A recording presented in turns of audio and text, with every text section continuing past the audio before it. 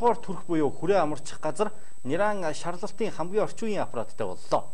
За 31 сая төгрөгийн үн бүхий хамгийн орчин үеийн евро стандартын Ниран шарлалтын аппарат нь за бүгд найрамдах Чех улсын засгийн газраас тусламж болгон илгээжээ.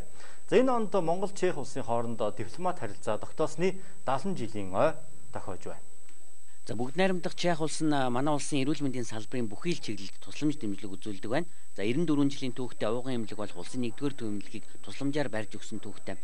За хуучны харилцаа өнөөдрийг хүртэл үргэлжилж Эрдэнэтийн эмнэлэг, гэмцог судлалын үндэсний төвд тоног төхөөрөмжийн олон тусламж дэмжлэг үзүүлсэн байдаг. За энэ удаад Монгол Чех улсын хооронд дипломат харилцаа тогтоосны 70 жилийн ан хүрээнд их хүүхдийн эрүүл мэндийн үндэсний төв болон хүрээ амарч газарт нэрэн шаргалтын аппарат гардууллаа. Нэрэн шаргалтын аппарат гардуулах ёслын үеэр эрүүл мэндийн сайд Саран гэрэл Монголын эрүүл мэндийн салбарын гол бодлого бол их хүүхдийн эрүүл мэнд гэдгийг онцлон хэллээ. За эрүүл мэндийн сайд Саран гэрэл нь Монгол Чехийн засгийн газар хоорондын комиссийн Монголын хэсгийн ахлагч юм. Аливаа улсын хөгжлийг их хүүхдийн эрүүл мэндтэй холбоод холбож үздэг. За төр засгийн тухайд бол ер нь эрүүл мэндийн салбартаа тэр дундаа их нэран чиглэлд бол тусламж дэмжлэг за хөрөнгө оруулалтыг маш сайн хийж байгаа. За та бүхэн маань мэдэж байгаа. За үндэсний хэмжээнд бага насны хүүхдүүдэд татгааны эсрэг вакциныг хийдэг болсон. За түүнээс гадна дутуу төрсөн нэрад амьсгал хямралын гачаалын сурфактант гэдэг эмчилгээнд бол өндөр зардалтай. Энэ мөнгийг мөн үндэсний хэмжээнд одоо төсөвт суулгаж өгсөн.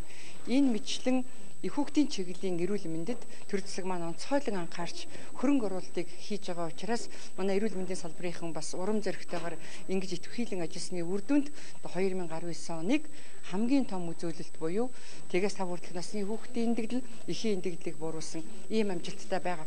А цаашдаа тогтвортой хөгжлийн зорилт 2030-д хүрэхийн төлөө мөн бид итвхийлэн ажиллах шаардлага байгаа. Ер нь эрүүл мэндийн салбар өөрөө өртөг өндөртэй зардал ихтэй ийм салбар байдаг учраас төр засаг олон улсын байгууллага за тухайлбал бүгд найрамдах Чех улс шиг ингэж хамтын ажиллагаатай биднийг үргэлж дэмжиж байдаг энэ улс орнуудын маань дэмжлэгийн хүрээнд бол бас бид үр дүнд хүрэх болцоотой. Тийм учраас одоо хамтын ажиллагаа маань байнгын байдаг, тогтвортой байдаг, өгөөжтэй байдаг. Үүний илэрлэл нь өнөөдрийн одоо 31 сая төгрөгийн өртөг бүхий энэ хамгийн сүүлийн үеийн евро стандартын шаардлагын аппаратыг манай эрүүл мэндийн салбарт хандуулж байгаагийн илэрлээ гэж үзэж байна. Бидний үйл ажиллагаа бол бидний одоо эрүүл мэндийн салбарт энэ жил хийж байгаа гурван зүйлийн нэг нь байгаа.